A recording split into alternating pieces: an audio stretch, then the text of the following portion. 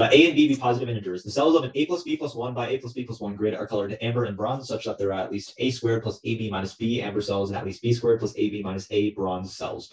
Proof that it is possible to choose A amber cells and B bronze cells such that no two of the A plus B chosen cells lie in the same row or column.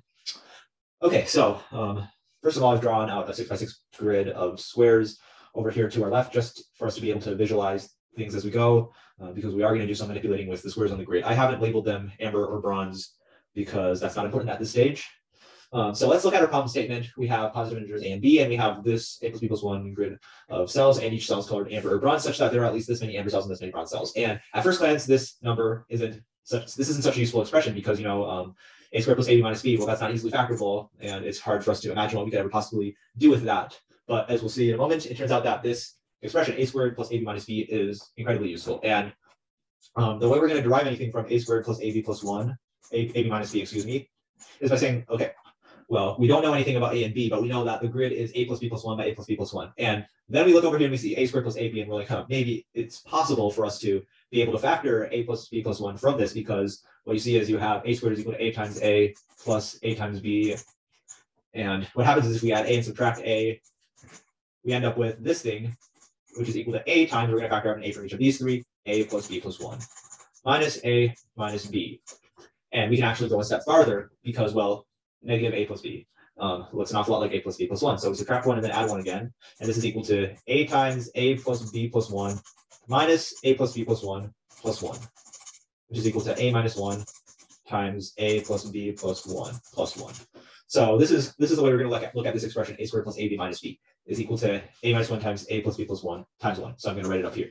a squared plus ab plus, no, minus b is equal to a minus 1 times a plus b plus 1 plus 1.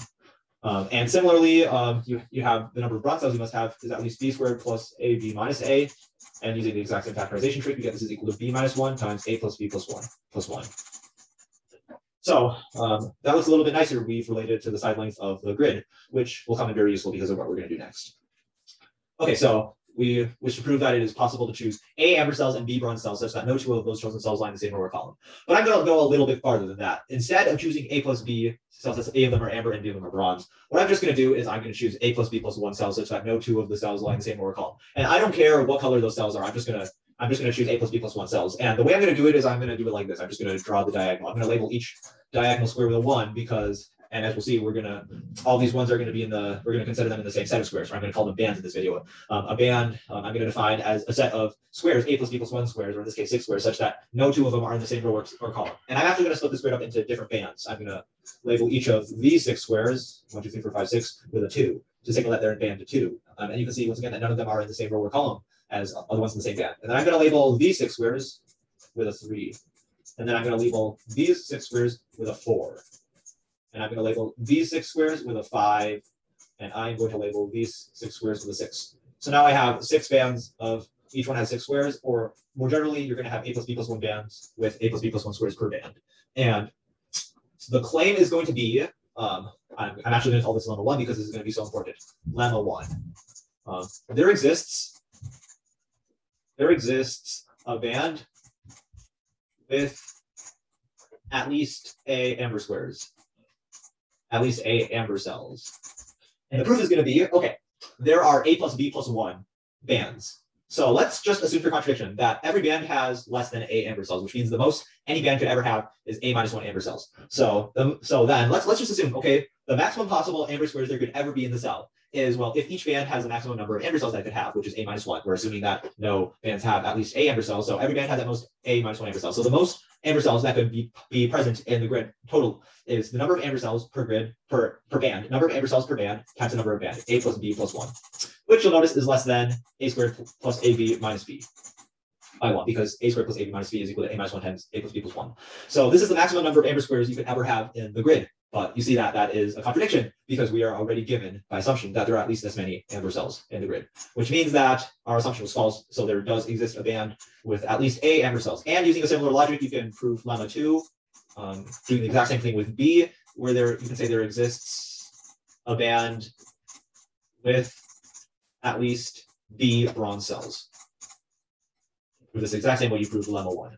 Okay, now that we've asserted those two things, um, what I'm going to do is I'm going to say, okay, let's say I have a band and the bands have have size a plus b plus one. So if I have a band with a amber cells and b plus one bronze cells, because the sum must add up to um, a plus b plus one, or um, if I have a plus one amber or and b bronze, then I am done.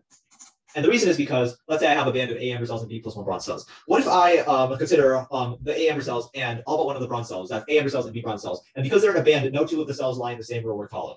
And similarly, if you have A plus one amber cells and B bronze cells, you can consider all the bronze cells and all but one of the amber cells, and no two of them lie in the same row or column. So if we have one of these, then we are done. Um, and we solve the problem. Okay.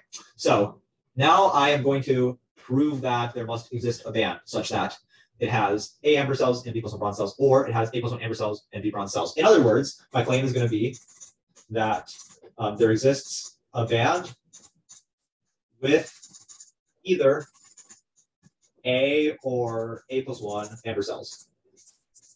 And here's how I'm going to prove it. Okay. Lemma one states that there exists a band with at least A amber cells. Okay. We are just going to without loss of generality, we're going to assume that we're going to assume that band one because it doesn't really matter. Um, just for visualization, assume that band one includes at least A amber cells. I'm actually going to highlight band one with this red um, highlighter just to demonstrate this, to depict this um, without loss of generality. Let that let the band with at least A cells be band one, at least A cells be band one. Okay. And now what we're going to do is we're going to say, assume for contradiction that this claim isn't true. In other words, every band either has A minus one or less cells, or it has A plus two or more cells. Okay, so we already know that band one has um, at least A cells, but by our contradiction statement, which I'm actually going to write here, assume for the sake of contradiction that all bands do not have A or A plus one amber cells. And I'm actually going to add this word exactly here. Assume for the sake of contradiction that all bands do not have exactly A or A plus one cells. Then every band must have A minus one or fewer or A plus two or greater. Uh, however, band one has at least A cells, but it can't have A cells or A plus one cells. Um, so it must have at least A plus two cells, just by this assumption, okay? So band one has at least A plus two cells, which means it has at most B plus one, B minus one bronze cells, okay? Then um, let's say, without loss of generality, band the band with at least B bronze cells. Um, by lemma 2, there exists a band with at least B bronze cells. Uh, there's this band with at least B bronze cells. Um, without loss of generality, let's let that band be band 2. Once again, it really doesn't matter which band we choose. I'm going to call it, I'm going to highlight band 2 with green.